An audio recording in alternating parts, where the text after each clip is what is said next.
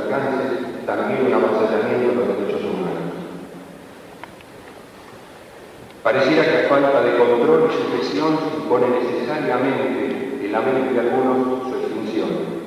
La universidad debe en este contexto redoblar su responsabilidad científico-social, asumiendo la crisis de los paradigmas científicos como una actitud y un desafío permanente, elevando el nivel de excelencia académica, reflexionando sobre aquellas vacantes del conocimiento que se nos imponen cada día ampliando sus beneficios directos a sectores cada vez más amplios de la sociedad, alejándose de la tentación conformista de la mercantilización de la enseñanza superior, tendiendo un puente real con los hombres y las mujeres que luchan por una vida más justa y digna, rescatando la idea libertaria de la educación como un derecho y un bien.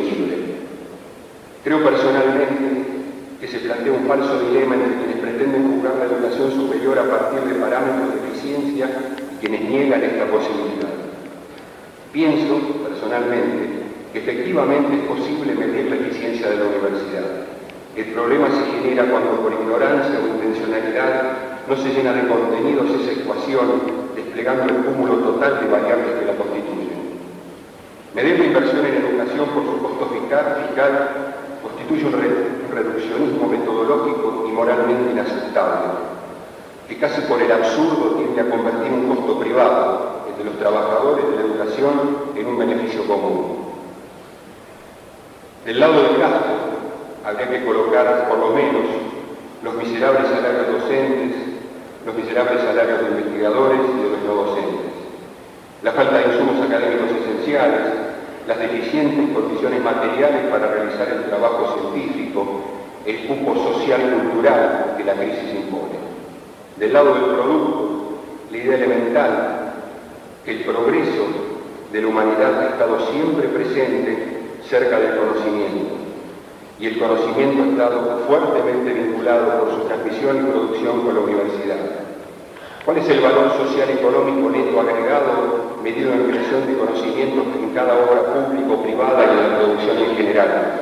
¿Cuál es el valor de cada vida que se salva o de vidas que alargan nuestros científicos y profesionales de las ciencias biomédicas? ¿Qué precio tiene cada avance en el conocimiento de nuestra historia, de nuestra geografía, el permitirnos conceptualizar sobre los aspectos éticos filosóficos en los cuales se enmarca nuestra construcción como sociedad? ¿Cuál es el valor de extender el conocimiento a través de las aulas a todos los sectores sociales generando condiciones para que cada individuo asuma su destino y vocación. O quizás ese es el problema para algunos.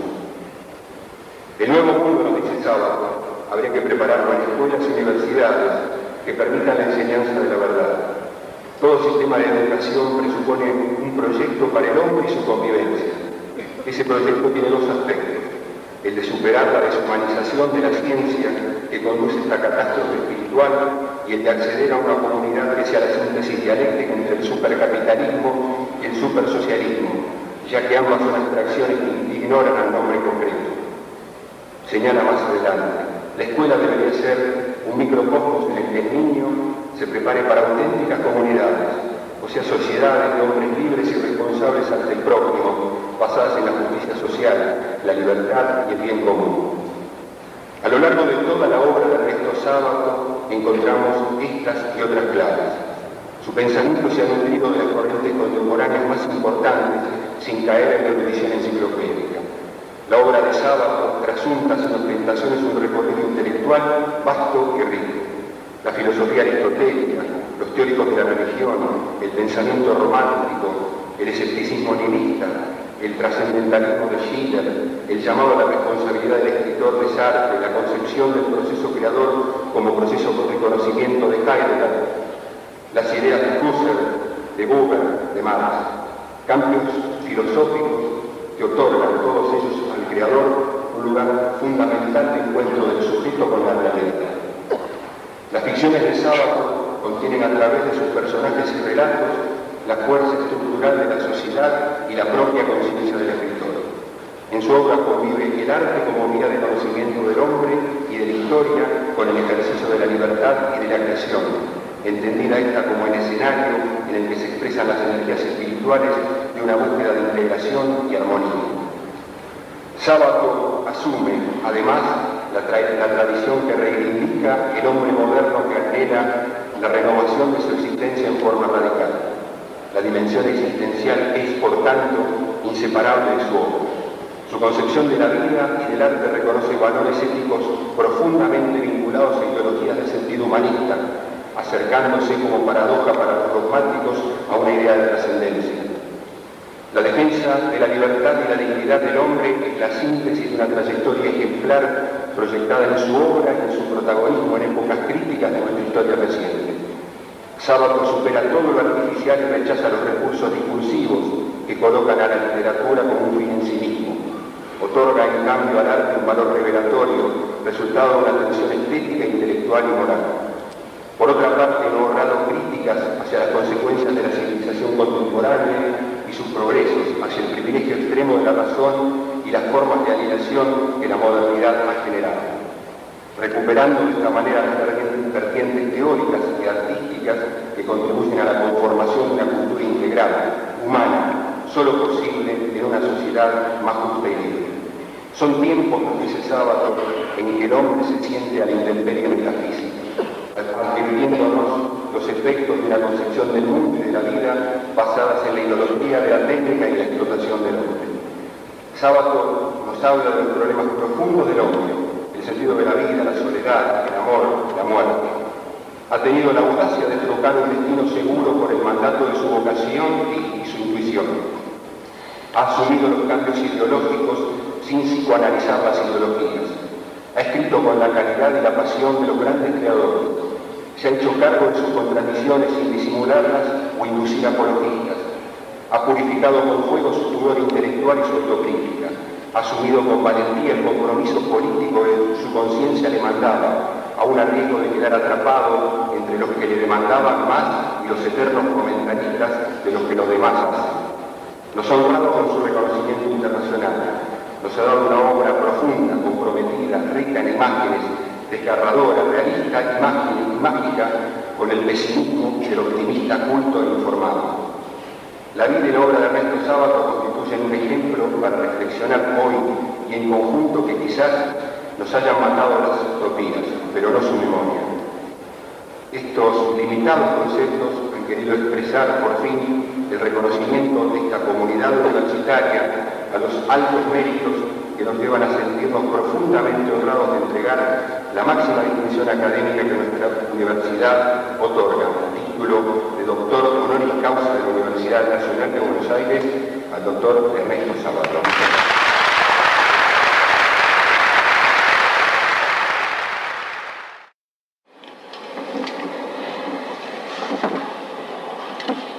Casi nunca le he dado importancia honoris causa.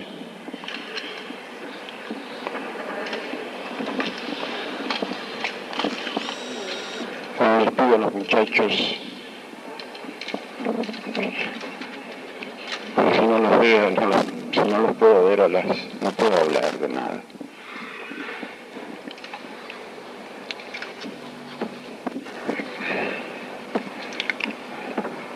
En este caso, extraordinaria importancia para mi vida,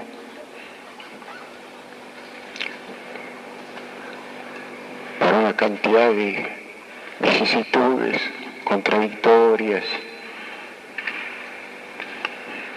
a veces un poco locas, por recibirla en un acontecimiento fundamental en la vida de la Argentina, que es la universidad, los 170 años de esta memorable universidad.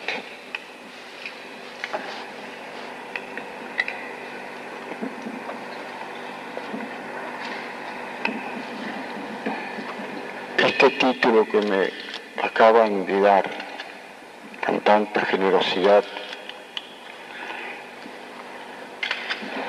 el rector de la universidad y con palabras tan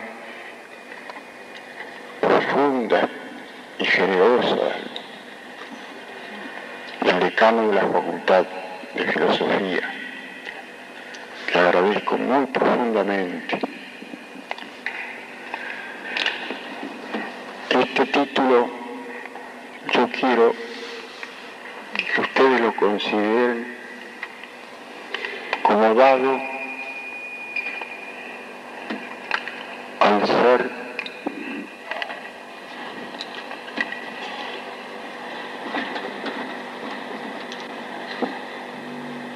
que más me ayudó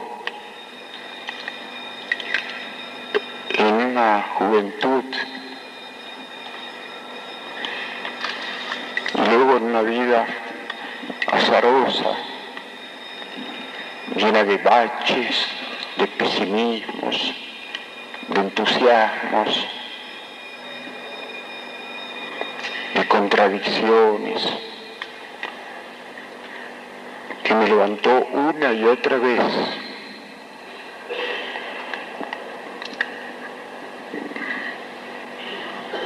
En cada circunstancia en que yo caía presa de pesimismo, no de escepticismo. El pesimismo, el pesimismo es otra cosa. Uno espera mucho y es defraudado. La iglesia que tiene una larga sabiduría no teme a los pesimistas, teme a los indiferentes. una serie de circunstancias que no voy a poder analizar acá. Título yo quiero que lo consideren dado a esa persona que conocí cuando éramos estudiantes en otra gran universidad, la de La Plata concebida por un gran humanista que se llamó Joaquín B. González.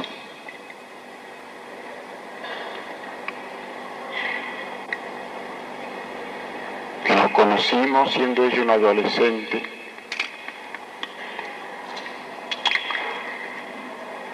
y yo una especie de peligroso delincuente nacional. A pesar de mi relativamente corta edad, este adolescente que a los 17 años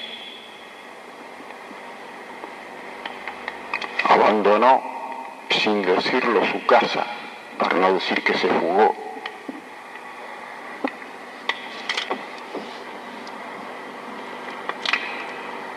Con alguien que como yo en ese momento, durante la dictadura de Uriburu, vivía clandestinamente,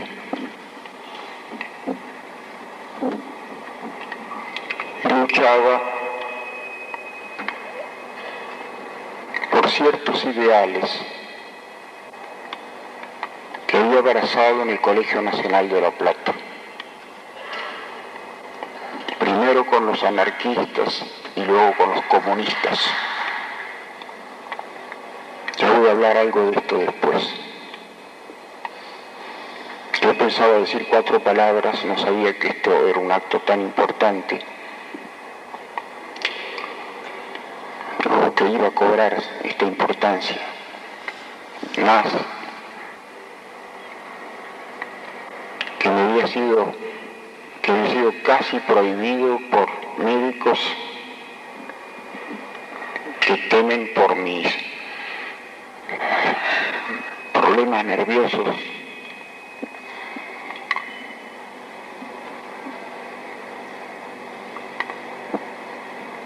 producidos en buena medida por las vicisitudes tristísimas de aquella antigua adolescente que a los 17 años se vino a vivir conmigo a un cuartucho de Buenos Aires en condiciones de clandestinidad.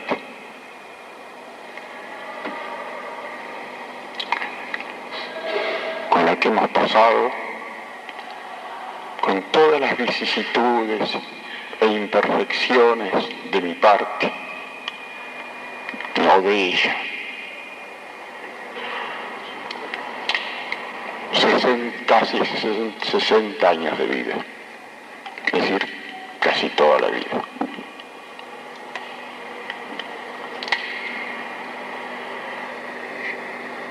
Este documento es para ella, para Matilde.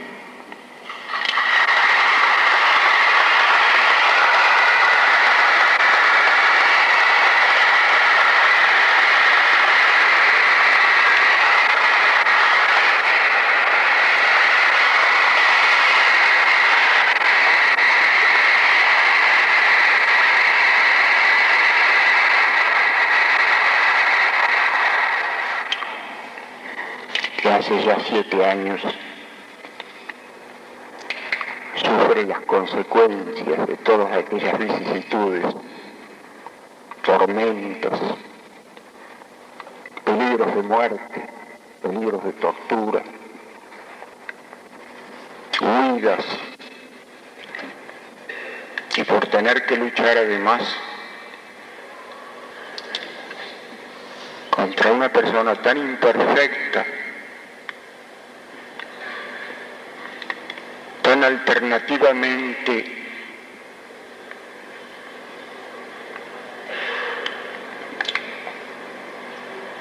como diré, alternativamente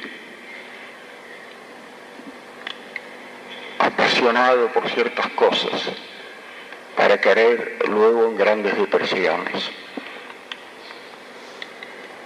No hubiera publicado ningún libro sin ese sostenimiento cotidiano, heroico,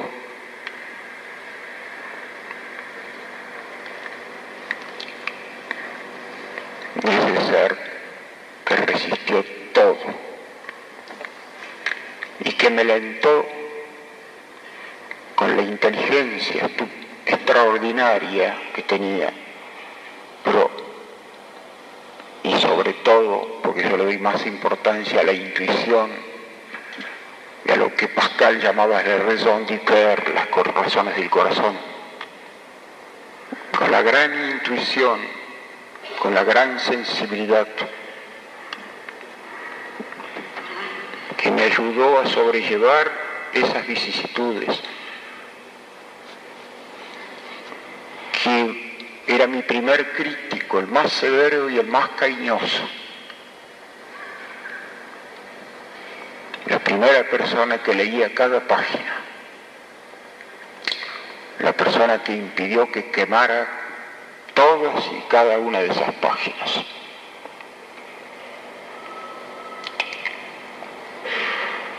Permaneciendo ella en la oscuridad, escribió toda la vida, nunca quiso publicar nada. Y ahora, en estos momentos, para mí un enorme honor, una enorme emoción por este acto que tan generosamente me han dedicado, pero una gran tristeza porque ella no puede estar acá.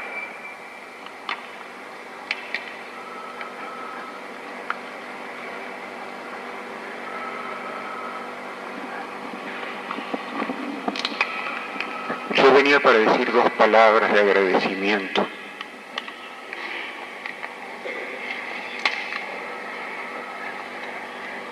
Los médicos que me atienden me han prohibido en este último tiempo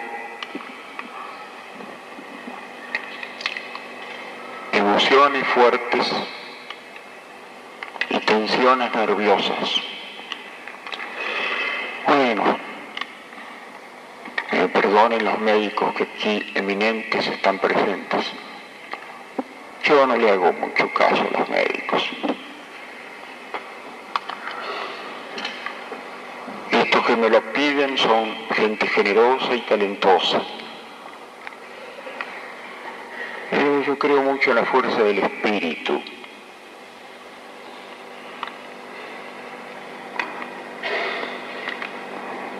Y por eso yo debo decir ciertas cosas en este momento. Venía para decir algunas palabras de agradecimiento y veo que tengo la obligación espiritual y moral de decir ante ustedes algunas palabras que serán desilvanadas.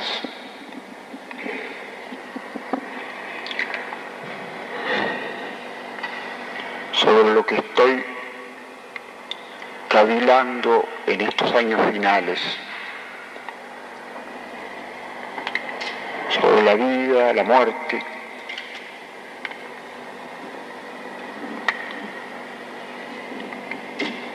el sentido de la existencia, la trascendencia o no de la criatura humana. y los grandes atributos finales y últimos de la condición humana, que son además de esos, la muerte, la soledad, la comunión, el amor, la de un sentido trascendente, si existe Dios o no existe.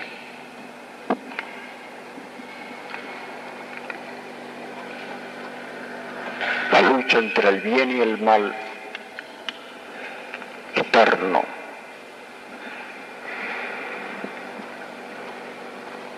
Es decir, eterno, con la duración de la especie humana, la más perversa de todas las especies según Nietzsche. Esos son los problemas que me preocupan y que tienen que ver no en general, sino a través de seres concretos de carne y hueso, que son los que viven en una patria, una tierra determinada. No creo en el hombre abstracto de los iluministas, esa especie de inteliquia. Creo en seres de carne y hueso.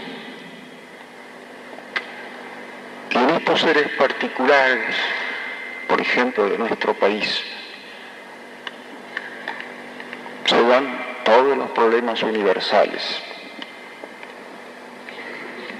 Así como Kierkegaard dice, hablando del artista, que cuanto más ahonda en el corazón, en su propio corazón, más ahonda en el corazón de todos los demás, de todo el mundo.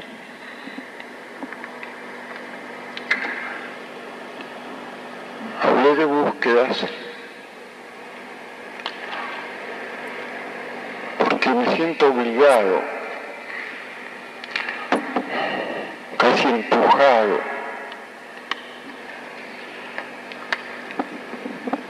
por seres que quiero y que están cerca. Escribir lo que intento hacer con mi memoria digital e imperfecta. Un libro que todavía no sé lo que es, más o menos plantea estos problemas. ¿Qué somos? ¿A dónde vamos? ¿Cuál es esa dialéctica existencial entre la patria de uno y la patria de los otros? ¿Qué sentido tiene la existencia? ¿Qué significa la muerte? Todo esto no en general, sino a través de mis propias vivencias. El decano de la Facultad de Filosofía y Letras, con mucha generosidad, habló de mi formación. A veces me preguntan por la calle qué hay que leer. Chicos, muchachos, profesores. Hay que leer lo que apasiona, lo que lo apasiona a uno. Nada que se haga sin pasión vale la pena. Así que mis lecturas, que él ha mencionado, no fueron sistemáticas, como todo lo mío. Fue contradictorio, a golpes de las circunstancias, respondiendo a ansiedades profundas, tratando de entender tan tan frágil es el entendimiento, tratando de entender lo que no se puede entender. Por ejemplo, cuántas veces me he planteado y me lo vuelvo a plantear ahora con mucha fuerza. Yo sé que este problema no se puede resolver mediante razones, y lo que estoy dando son razones.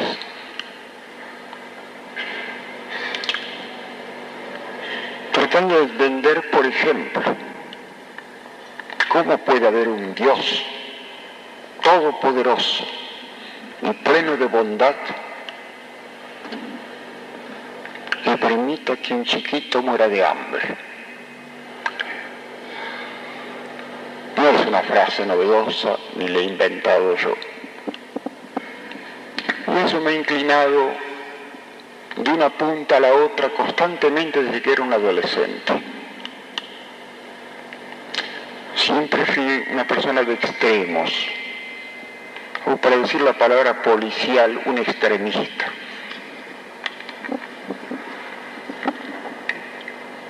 Siempre me pareció que la injusticia era un horror.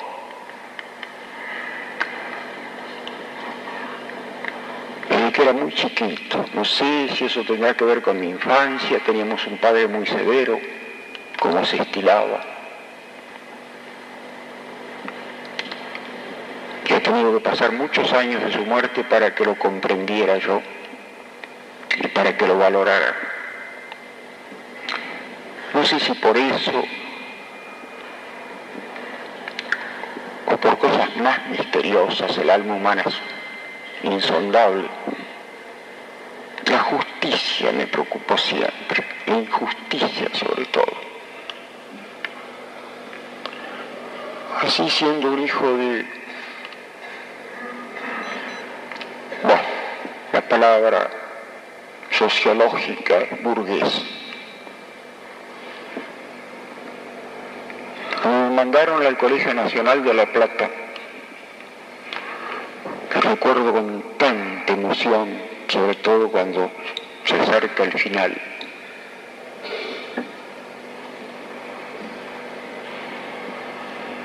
Yo era un chico de, pueblo,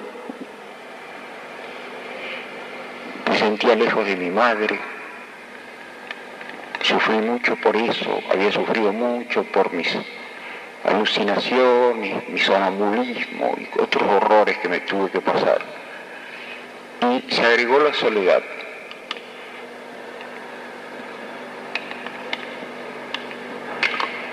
Y en ese colegio hermoso y maravilloso Colegio Nacional de La Plata, tan importante como este otro que tuvo la Universidad de Buenos Aires.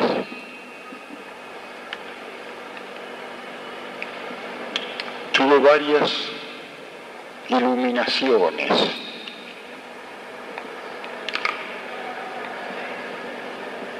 Hay gente que me ha preguntado y me sigue preguntando cómo puede ser que yo ya hecho el doctorado en ciencias físicas, matemáticas, y luego abandonase todo para hacer nada más que literatura y últimamente, porque ando mal de la vista, pintura, aunque parezca una paradoja. Porque actué siempre por intuición. No creo, creo, que no creo casi nada en la razón. No digo con esto, no es que la menosprecie. Ha dado obras excelsas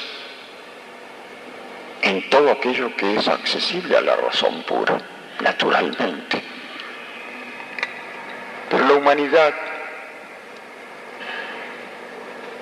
por lo menos del siglo XVII, empezó a creer que la razón era lo supremo. Empieza esa carrera un poco demencial hacia la sobrevaloración de la ciencia. La gente no puede comprender por qué yo, que había tenido desde chico la pasión de la pintura y de la literatura, estudiaba matemáticas. Dice Proust alguna parte que los aunque son siempre porqués desconocidos. ¿Quién ha trabajado alguna vez en un observatorio astronómico, como yo, sabe que esos observatorios están siempre llenos de grandes neuróticos que quieren huir de la Tierra.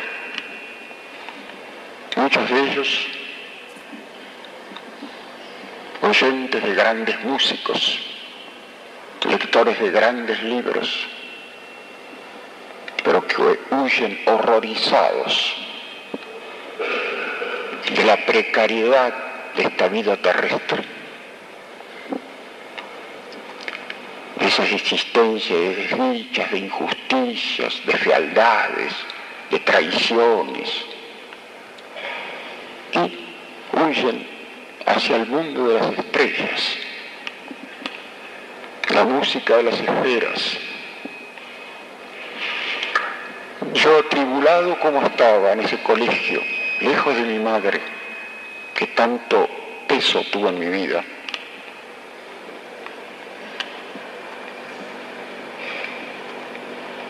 sentía tan confundido. Hasta que de pronto en una de las primeras clases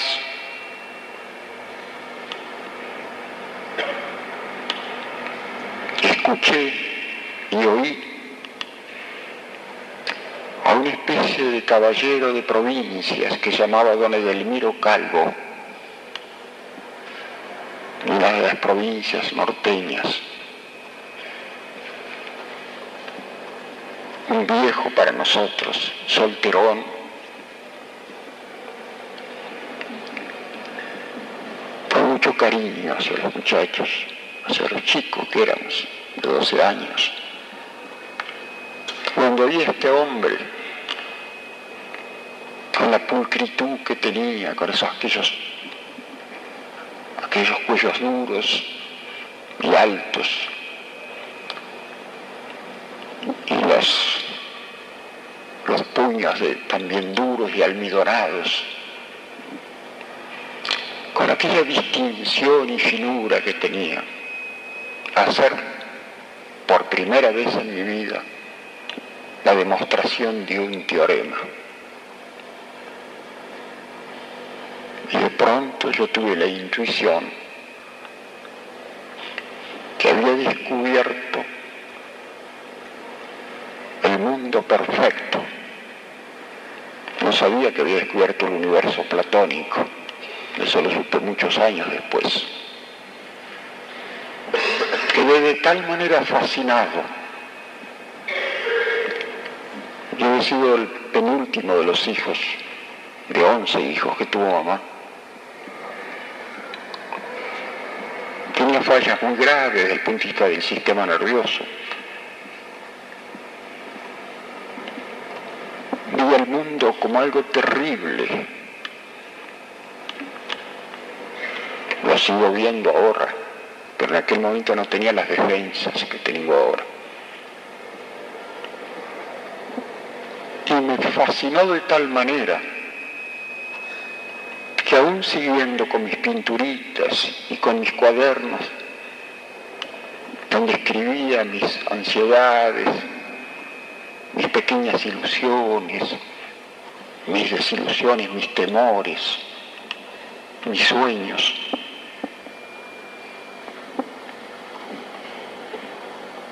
Fui fascinado por la matemática.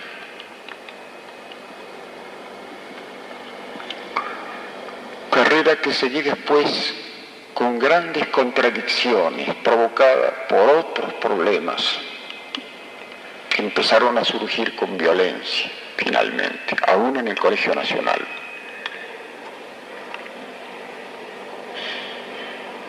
La idea de la injusticia social, el problema de la injusticia social, de la injusticia en general. Allí en este país de inmigrantes. Había muchos inmigrantes italianos, españoles, judíos, de todas partes, musulmanes.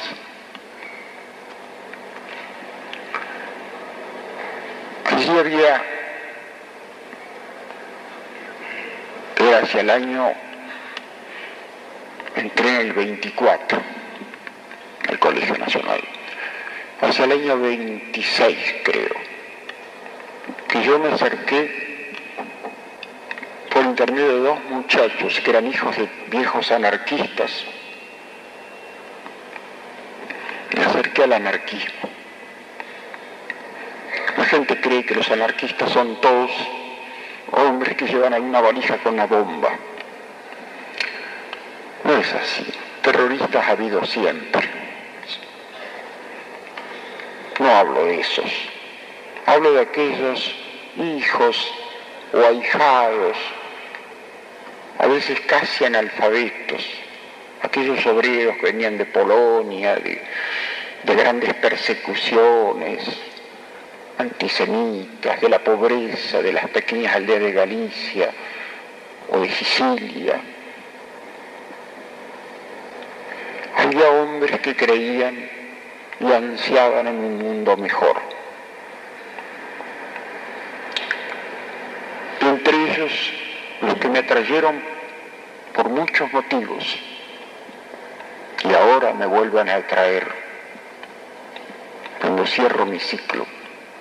Eran los descendientes, a veces pobrecitos, casi indefensos, pero descendientes de grandes pensadores, que no eran anarquistas por resentimiento social, porque había varios condes y príncipes que fueron precursores de esto que va a ser el futuro de la humanidad. Si esta humanidad termina con la catástrofe tecnológica y con la bomba atómica, si no termina con esto, las pequeñas comunas, de ahí viene el nombre de comunismo. Vivir en pequeñas comunas, seres humanos con nombre y apellido. Estos camaradas, algunos viejos anarquistas españoles e italianos, nos inyectaron aquellas ideas, que después, claro, las ahondé leyendo los grandes teóricos, pero muchos años más tarde pasaban cosas horribles en el mundo, ya, como siempre. Y como siempre será, porque esa forma parte de la condición del hombre.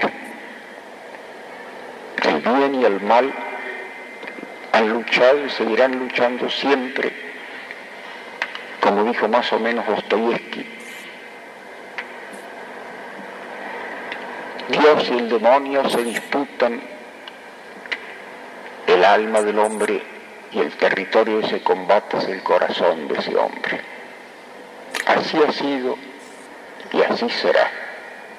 Eso quiere decir el eclesiastés cuando afirma que no hay nada nuevo bajo el sol, se refiere al corazón del hombre. El progreso de la humanidad. Eso no signifique, no significa ni escepticismo ni cinismo significa aceptar la condición del hombre de carne y hueso, que es así, está disputado siempre por el bien y el mal en cada uno de nosotros.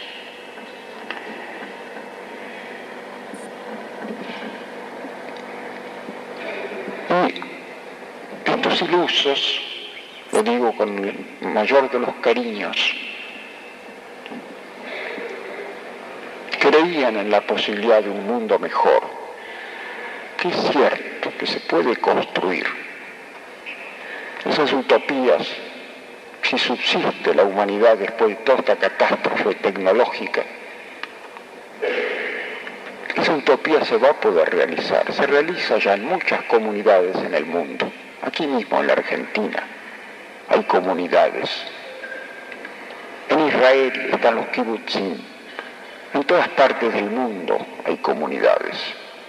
Son los pioneros de lo que va a venir. No digo con esto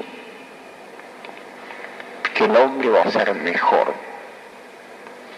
pero tal como vamos, el hombre está siendo cada vez peor. Vamos a retomar un poco ese equilibrio entre el bien y el mal cuando estemos entre seres humanos no estemos convertidos en robots, en ciberántropos, en hombres manejados por computadoras. Estas grandes sociedades modernas que han dado el hombre masificado, ya sea por la vía del capitalismo, en países como Estados Unidos o Japón, ya sea por el vía del socialismo, en, el ex imperio soviético. Ninguna de las dos cosas son, deben constituir la ilusión de nadie que tenga sensibilidad y dos dedos de cabeza. El hombre con el hombre, el yo y el tú, como dice el gran filósofo judío Martín Buber, la existencia es coexistencia, vivir es convivir con semejantes. Los robots no se comunican. Se pueden comunicar electrónicamente, pero no hay comunión entre robots. Los seres humanos son otra cosa. Volver a una sociedad de seres humanos. Esto es lo que vagamente yo sentí en aquel momento. estoy haciendo una autobiografía, pero que, tenía pensado de otra cosa que estaba notando, bueno, pero en fin.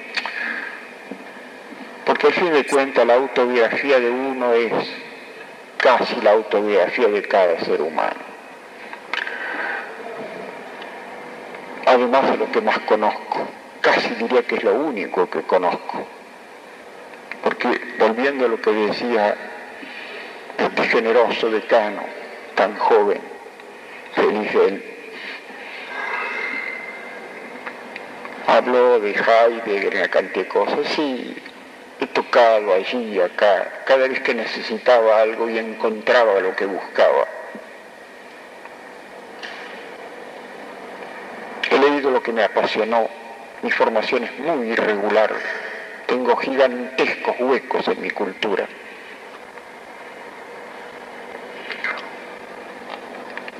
Pero me he ido orientando.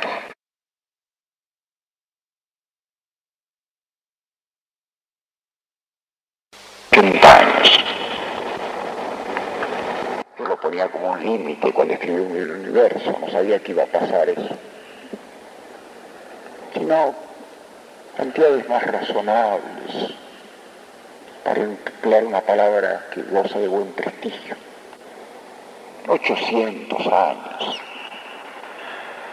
Dedicar los primeros 200 años de la existencia a aprender un poco lo que es el ser humano y después empezar a hacer otras cosas de más provecho. Es irrealizable. Tenemos que conformarnos y tratar de transmitir nuestra sabiduría, la que adquirimos con los años,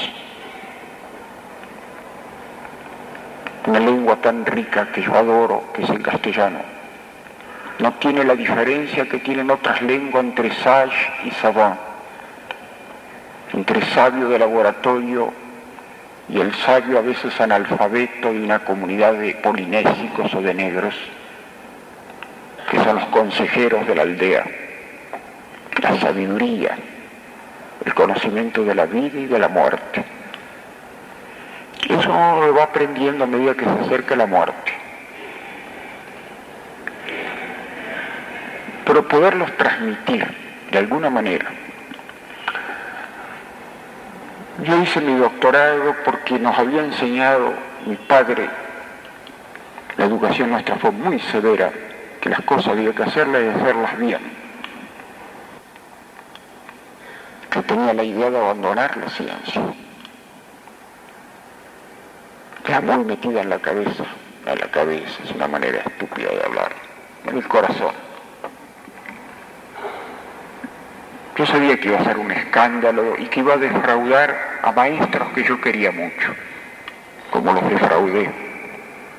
Usai, que me dio la beca para trabajar en laboratorio Curie, cuando yo abandoné la, la ciencia dos o tres años después, me retiró el saludo para siempre. El profesor Guido Beck, alumno de Einstein, buen tipo, ha muerto ya, un gran físico judío,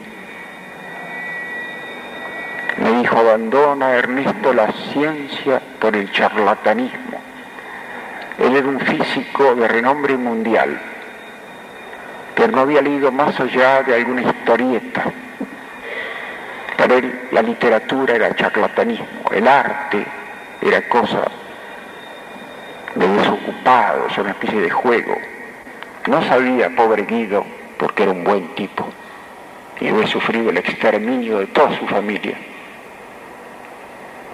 no sabía el buen Guido que la verdad era totalmente opuesta a lo que él decía. No niego los valores, ciertos valores de la ciencia, la conozco. Enseñé relatividad en el último año del doctorado en física, cuando tenía 27 años, y teoría de los cuantos. Sé los valores que tienen, sé los valores de la razón, pero sé los límites de esos valores. Como dije antes, razón en su dominio, claro, y tiene construcciones excelsas, aún desde el punto de vista de la belleza. La teoría de la relatividad es una especie de catedral de teoremas. Una belleza intelectual, pero belleza al fin, que me fascinó. Pero la verdad está, otra, está en otra parte. Esto se refiere al, al mundo puramente mental, que es una fracción, que ha producido grandes cosas, dejo de lado las peores cosas como la bomba atómica, porque la ciencia es amoral, pero que no tiene fuera de esos límites ningún significado, en ningún sentido.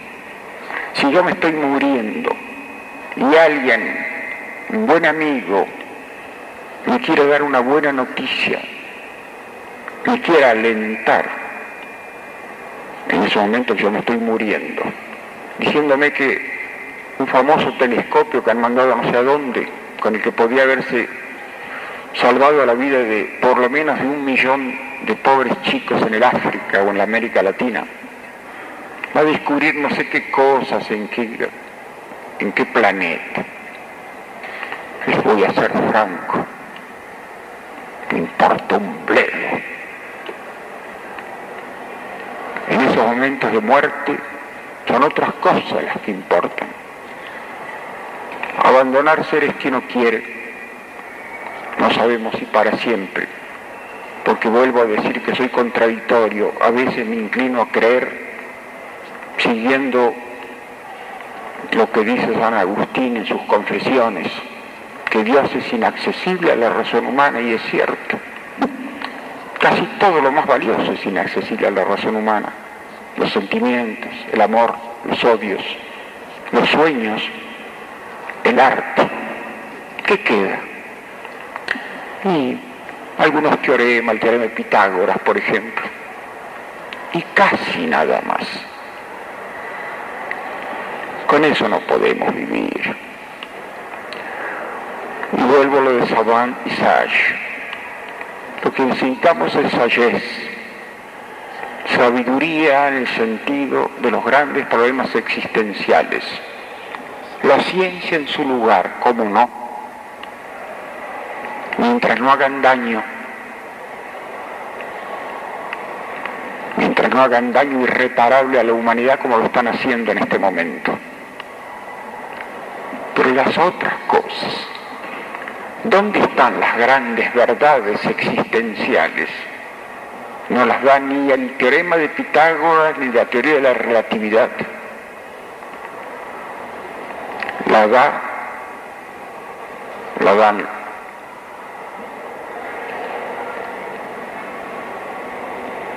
la da el arte, la da la poesía en el sentido grande de la palabra. Emplean los alemanes cuando dicen dictum o verdaderamente también los griegos. Poesía es todo gran arte, toda gran tragedia, toda gran novela. Allí están las grandes verdades de la condición humana. Allí sí se nos revelan, a través de la revelación de esos genios, los grandes secretos de la existencia Allí podemos llegar a sentir, a intuir lo que puede ser esta convivencia de la maldad y de la bondad en el ser humano. Allí podemos llegar a adquirir la sabiduría para morir en paz.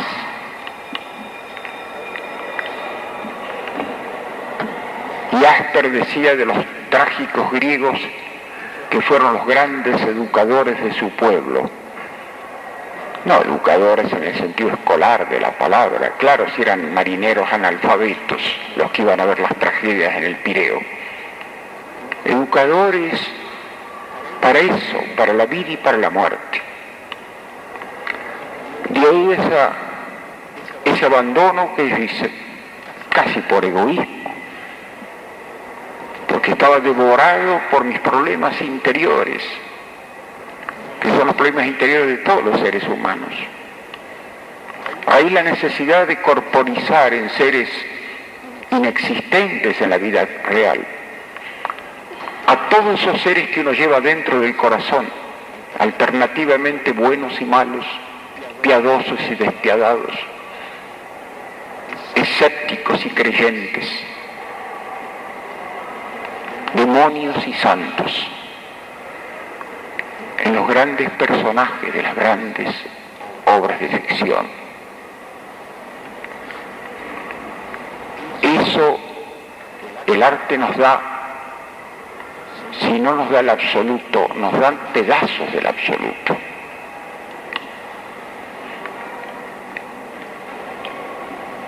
De una gran obra de arte no podemos decir jamás que sea una mentira. Por eso el arte no progresa, porque el arte da las verdades totales y eternas de la condición humana. Un hombre como Marx se asombraba. Qué curioso cómo hasta un hombre de esa calidad intelectual puede equivocarse, enseguecido por su propia doctrina.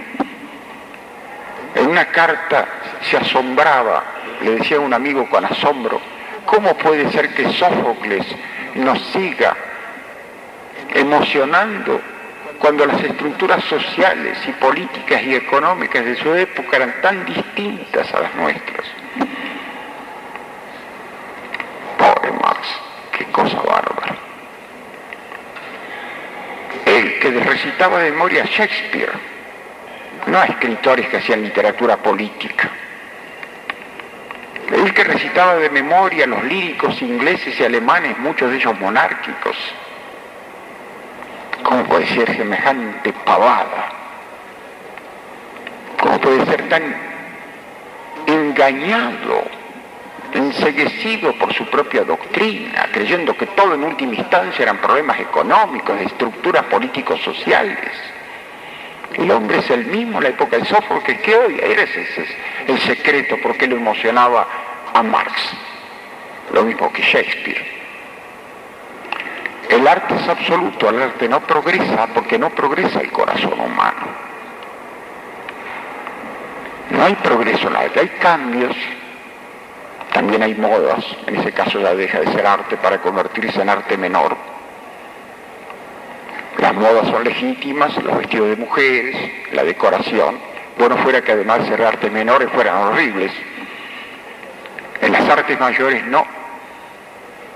Rige allí la belleza trágica, que suele ser terrible, en los grandes infiernos los grandes creadores. Pero esas son verdades que tienen la duración de la especie humana.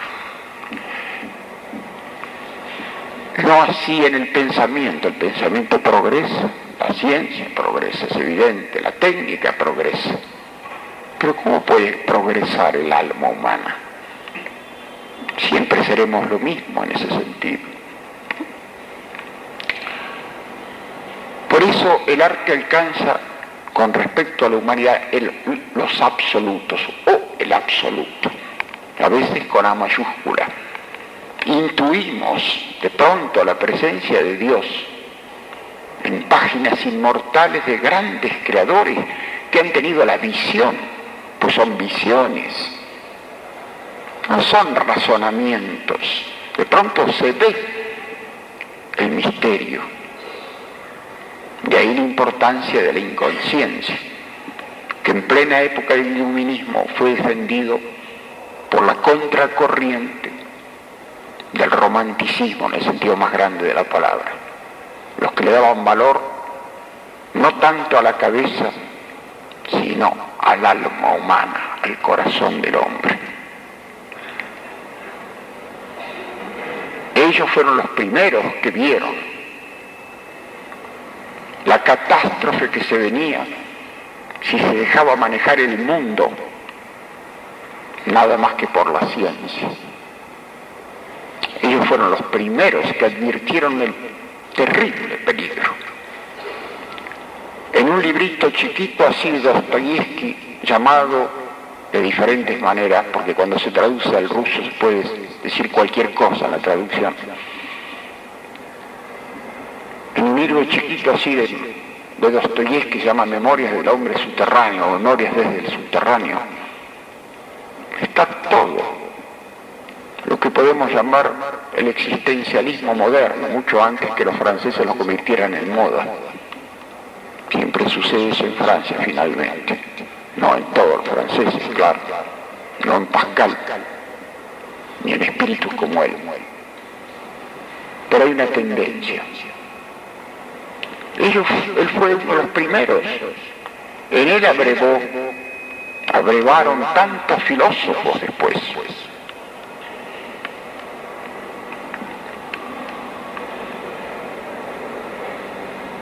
Y en los grandes pensadores que comprendieron que por la razón sola no íbamos a resolver a comprender o a resistir la condición del hombre. Esos pensadores ilustres que vienen en parte desde los griegos, porque siempre un movimiento produce su contramovimiento, hasta el propio Sócrates, que es padre a través de Platón, del racionalismo moderno, era un existencialismo sin saberlo, lleno de pasiones, de vicios. Un extranjero le dijo un forastero, es decir, alguien que vivía en otra ciudad, a una, a una, a una legua, que veía todos los vicios en su cara. Él es uno de los creadores del romanticismo, la contracorriente, el pacto frente al lobo, ha existido siempre. Pero, pero se acentúa cuando vienen estos tiempos modernos que estamos viviendo y padeciendo y sufriendo de la manera más extrema. Cuando advirtieron el peligro. El peligro.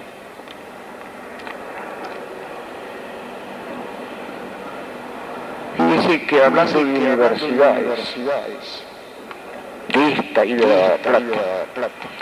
Teníamos director del Instituto de Física. Joaquín de González trajo grandes sabios alemanes, alemanes. El que dirigía el Instituto de Física llamado Emil Bose, eminente físico, que donó la biblioteca cuando él murió al Instituto de Física de La Plata donde estudió. en el ex libris que se acostumbraba en aquella antigüedad, decía, toma la verdad y llévala por todo el mundo. Aquellos hombres como Humboldt, es un ejemplo típico, eran una combinación extraña de las dos tendencias opuestas. Por un lado, el iluminismo, la verdad, para muchos de ellos era la verdad científica, y por otro lado un enorme romanticismo. esos hombres hicieron nuestro país, los grandes hombres del siglo pasado que concibieron e hicieron este país. Fueron una mezcla rarísima de romanticismo y de positivismo, como acaba de mencionar hace un rato el decano de la facultad.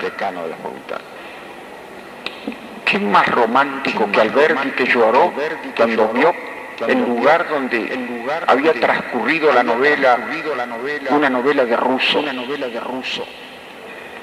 y que dijo cuando tuvo que ayudar a gobernar, ayudar a gobernar, cuando adoptó una actitud pragmática y casi positivista. ¿Qué más romántico que Sarmiento, cuya obra magna, su gran novela, llena de errores e injusticias, como bárbaro que era, contra su alter ego, fue inconsciente que era Facundo Quiroga. Ese autor de esa gran novela, uno de los grandes escritores que hemos tenido, que tenía cápites en cada capítulo de civilización eduardaria, cápites de románticos como Lord Byron, Lamartine, qué sé yo, todos los románticos de la época, de la época y que termina gobernando. Yo una vez buscando papeles en la Biblioteca Nacional, documentándome para una cosa de héroes y tumbas, encontré el diario que dirigía Sarmiento. este romántico hasta la médula del hueso, hasta la médula del hueso, que había un título así, ese diario lleno de diatribas, un título enorme que decía, alambre, bárbaros, refiriéndose a los que no alambraban el campo. Este romántico. De esta dialéctica existencial nació este país. Ellos fueron los fundadores de estas grandes universidades que iban a servir a veces para refutarlos, que así tiene que ser, La educación libre, la educación libertaria, libertaria, totalmente, totalmente. Ajena a cualquier cortapisa, cualquier cortapisa. Ellos fueron los que crearon con sus escuelitas obligatorias y gratuitas en este país de inmigrantes, una nación que llegó a ser de verdad del primer mundo hacia la década del 20 cuando seremos sexto, séptimo lugar en el mundo. De allí salió esta cultura, esta cultura. Y de estas universidades, de estas universidades. Que hizo que un país, que hizo que un país que estaba en un rincón del mundo, un rincón del mundo, llegara a dar hombres, llegara a dar hombres que lo convirtieron en lo que llamarían los economicistas un país del primer mundo, pero no por el Producto Bruto Nacional, bien llamado Producto Bruto Nacional, sino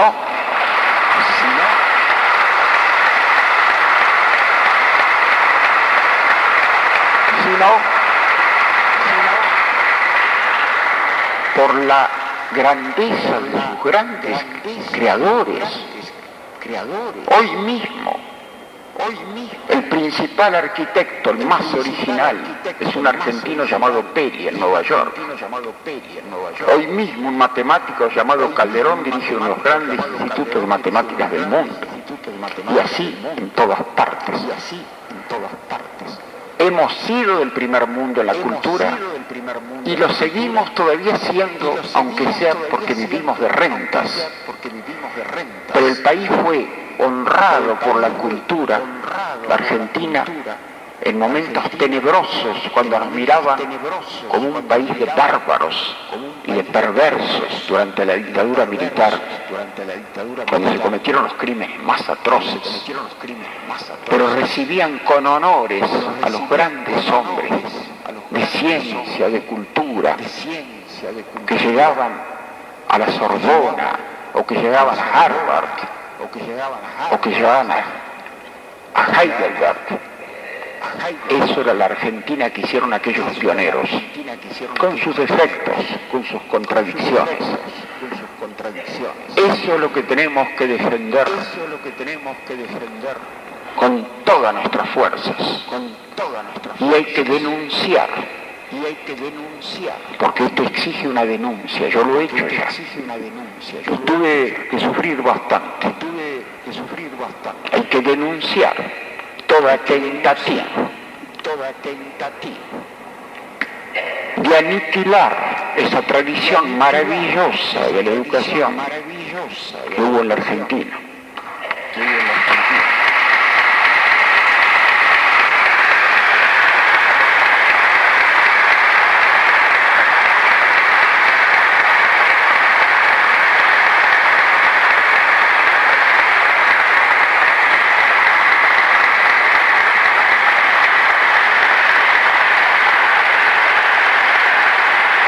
esa educación que se fue posible que hijos o nietos de inmigrantes, a veces pobrísimos, accedieran a la educación superior y produjeran genios universales. Y ahora parece que estamos, gracias, es una palabra inadecuada, gracias a un concepto un concepto absolutamente tecnolátrico y economicista que cree que primero hay que resolver los problemas económicos, si es que se resuelven, y luego se verá qué pasa con los maestros que se mueren de hambre y con los chicos que se mueren de hambre por primera vez en la Argentina.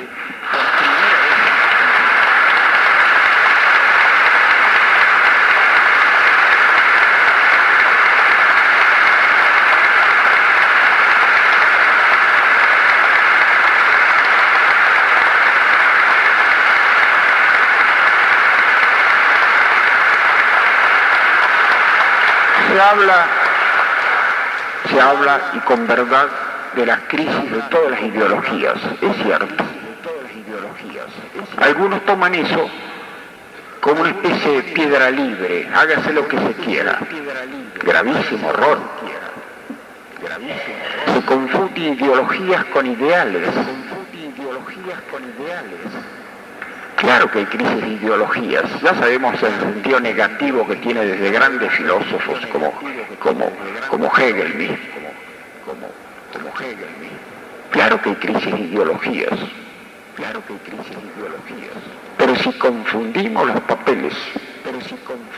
Y creemos que vamos a entrar de esa manera en un mundo. De sálvese quien pueda, sálvese quien pueda vamos a ser condenados para siempre. Vamos a ser condenados para siempre.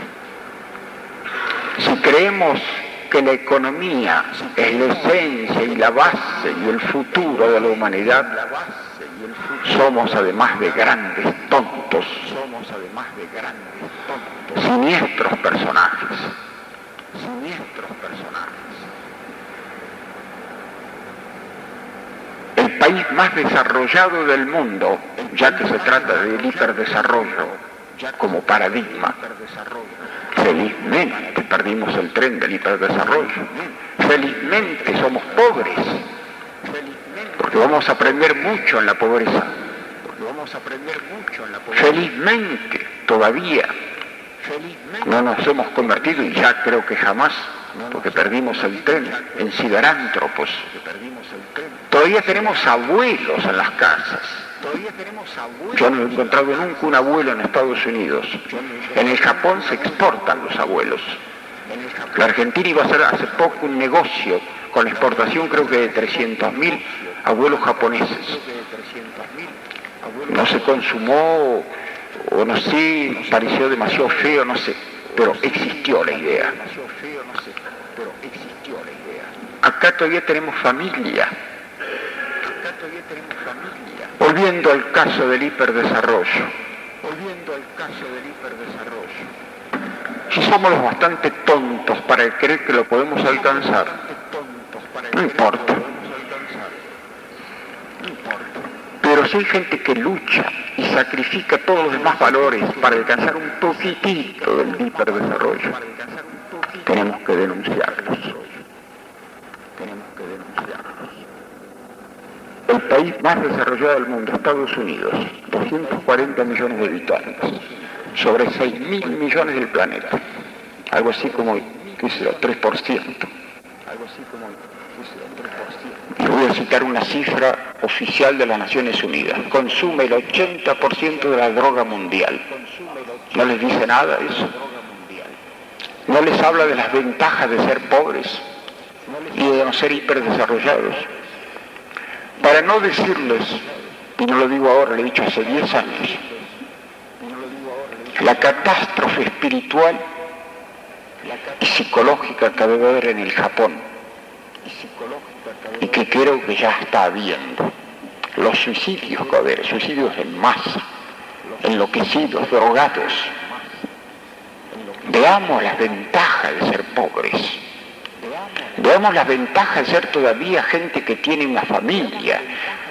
Yo soy abuelo, los chiquitos, los nietos, la relación de abuelo a nieto, que tenían las pequeñas comunidades en la antigüedad, eso que la, el eurocentrismo, la egolatría europea. Calificaba de salvajes,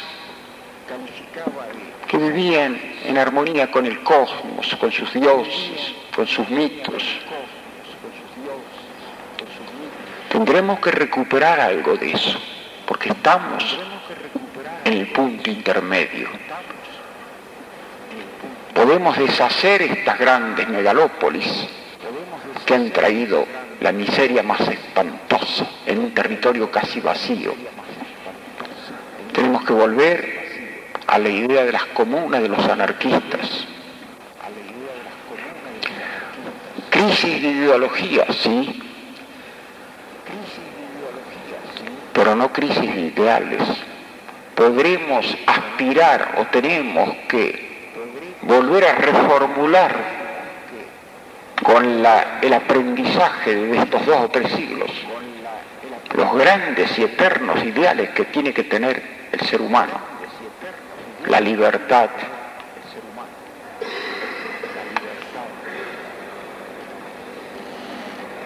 la fraternidad en el gran sentido de la palabra.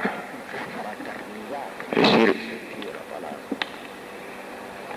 el bien para los otros una comunidad donde no haya niños que mueran de hambre, una comunidad regida por la justicia y con justicia social.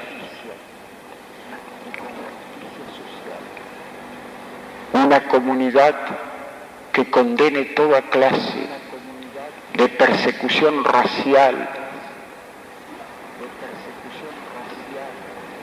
una comunidad, un mundo en que no haya pueblos oprimidos,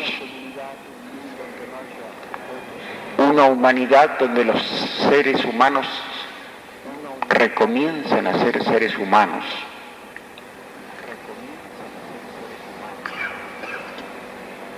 Esos son los grandes ideales que tienen la duración de la especie humana, como dije antes. No hay crisis ideales, al contrario este es el momento de replantear estas grandes ideales y sobre todo nosotros tenemos esa ventaja. Porque tenemos una cultura eminente que sufre ahora de los horrores y del desamparo, pero que subsiste porque no se destruye una cultura con la aviación. Se puede destruir una ciudad, pero no una cultura tenemos los argentinos esa gran reserva espiritual con la que tenemos que reconstruir nuestra nación.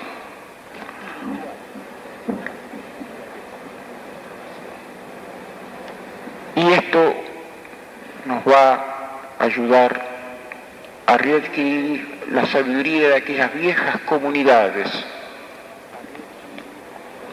Mientras la mujer estaba en el telar, o haciendo cerámica o haciendo ollas, y el hombre estaba con sus lanzas en alguna tribu africana, cazando o luchando contra estas tribus. Uno de los chicos de la casa estaba en las rodillas del abuelo, escuchando cuidadosamente la magia de las leyendas de la comunidad desde las tradiciones de esa, de esa pequeña comunidad, la hermosura de sus mitos, las verdades de sus mitos. Mientras que ahora estamos destruyendo todas las pequeñas comunidades, aquí mismo, en el Brasil, a sangre y fuego, arrasando bosques que además dan el 60% del oxígeno mundial contaminando ríos, mares, contaminando el aire, contaminando todo, pudriendo todo. ¿Qué clase de progreso con P mayúscula es este? Y ahí siempre recuerdo la frase de Schopenhauer, tan lúcida, cuando dice que hay épocas de la historia en que el progreso es reaccionario y la reacción es progresista.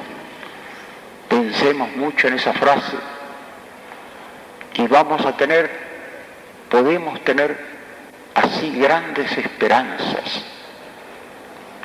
La esperanza nace de la desesperación pero perdura, siempre renace. Eso es una de las cosas más maravillosas del ser humano. Tengo guardado en un archivo especial de cosas que para mí son significativas la fotografía de una pobre india cuando el gran terremoto de Concepción en Chile hace 30 o 40 años, que arrasó con todo. Y ha reconstruido su chocita de zinc y de cartón.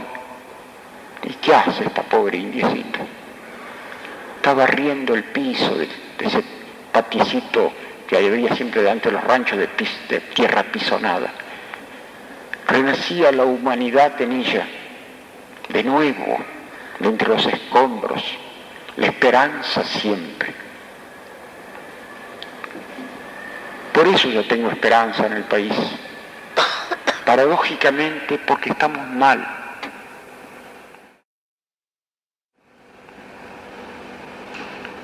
Paradójicamente porque la vida fue fácil y ahora estamos pisando verdaderamente el fondo. Y aquí tendrá que surgir esa nueva Argentina. Cuando digo eso me refiero al mundo entero. No quiero decir que sea un chauvinista que habla de la Argentina. Estamos acá, tenemos que reconstruir esto. Una cosa que he aprendido también con los años, a diferenciar patriotismo de patriotismo. El hombre que quiere su tierra, ¿y qué hombre no quiere su tierra? A veces un pedacito, así una aldea de Galicia. El hombre que quiere la pequeña, el pequeño trozo de tierra que le ha correspondido en suerte para vivir, sufrir, amar y morir. Ese hombre comprende y puede querer y amar a otras patrias porque sabe lo que es una patria. Que tal vez habría que llamarla, como decía, creo que una monomatria, porque es la mujer la que da la existencia y que la que, la que preserva la existencia, como esa pobre indiecita chilena. Reconstruir sobre esas bases nuestra patria y queriendo que eso suceda en otras partes del mundo. El patriotero es al revés, el patriotero es un resentido que odia a las demás patrias. Yo me acuerdo con qué sentimiento y emoción escuchaba a un pobre negro que trabajaba cuando yo estaba en el laboratorio de Curie que estudiaba, tenía una beca en la Sorbona y comíamos juntos en un restaurante de mala muerte con su tatuaje de, tribu y que me hablaba casi con los ojos llenos de lágrimas de su aldea. ¿Cómo no lo iba a comprender? En un país como el nuestro de inmigrantes, que nació a la vida moderna, con hijos y nietos de inmigrantes, con la nostalgia de la tierra lejana. El patriotismo de los argentinos, que alguna vez fue considerado como exagerado, debía a que un inmigrante dejaba su tierra para siempre. Cuando se alejaba el barco desde Nápoles o desde Vigo, y el pobre emigrante sabía que era para siempre, que por última vez veía cada vez más lejos a su abuelo o a su madre o a su mujer. Y llegaba acá, necesitaba una patria con urgencia, porque no se puede vivir sin patria, sin una tierra propia. Y de ahí que grandes defensores de la nacionalidad argentina tenían apellidos extranjeros, Mosconi, Sabio, Escalabrini Ortiz, tanta gente. Este es un país que por ser una fractura entre América Latina y Europa, tiene posibilidad de decir muchas cosas. por haber sido un país de inmigrantes. Por todo eso tengo esperanza en la nación.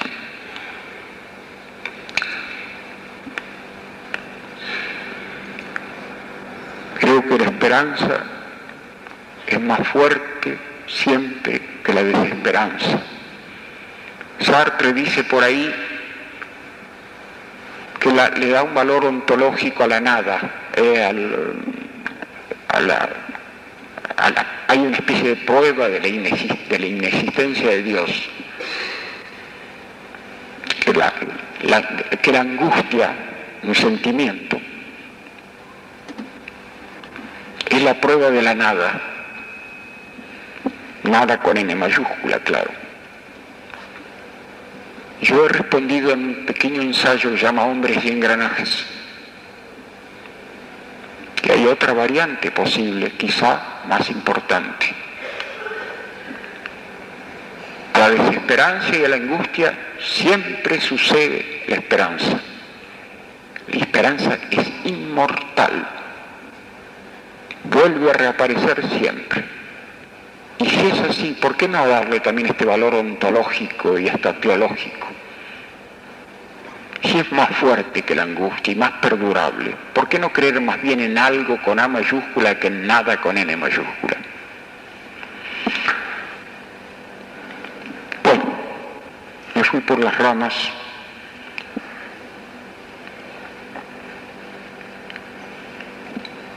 Pero, no sé, de esto voy a hablar tal vez en ese libro, incoherente, lleno de huecos, pero que espero que sea muy auténtico y muy honrado, que muestre mis propias vicisitudes, mis propias imperfecciones, mis propias cavilaciones, y por qué, teniendo que elegir, elijo el arte y no la ciencia.